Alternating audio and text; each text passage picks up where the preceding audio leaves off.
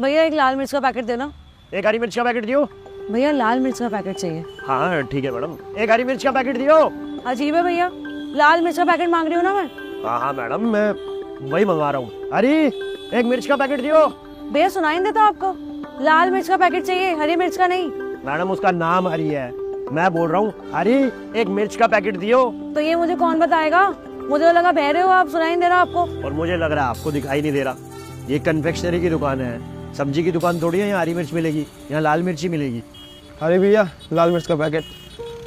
आप तो कह रहे थे इनका नाम हरी है ये आपको हरी बोल रहे हैं। पागल समझा मुझे?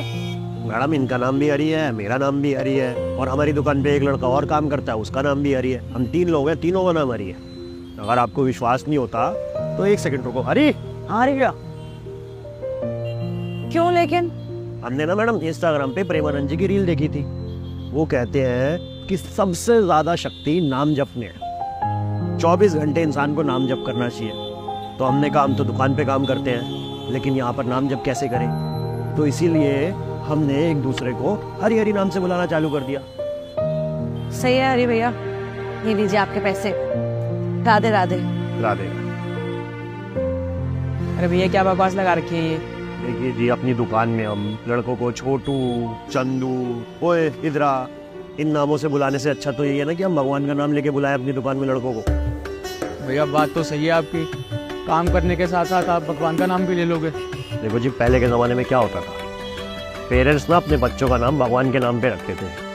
ताकि जब भी वो अपने बच्चे को याद करेंगे तो साथ साथ भगवान को भी याद करें। जैसे कि एक दिन में दस बार एक माँ ने अपने बच्चे को बुलाया राम नाम से। तो दस बार उसने भगवान को भी याद कर लिया ना साथ साथ पता है बचपन में मुझे ना बहुत बुरा लगता था कि मेरे मॉम डैड ने मेरा नाम राधा क्यों रख दिया?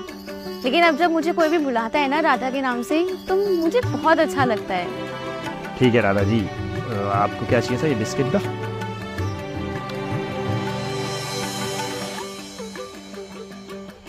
आ, हरी भैया हाँ जी। एक किलो चावल देना। आप भी मुझे हरी नाम से बुलाने लग गई। हरी एक किलो चावल दियो। भैया भगवान का नाम सिर्फ़ आपको थोड़ी लेना है हमें भी लेना है। इसलिए आपको हरी बुला रही हूँ। और तो और मैंने आपका आइडिया चुरा लिया है। मेरा पार्लर है वहाँ पे एक लड़की काम करती है उसको मैं लक्ष्मी नाम से बुलाती हूँ। ये तो बहुत अच्छी बात है।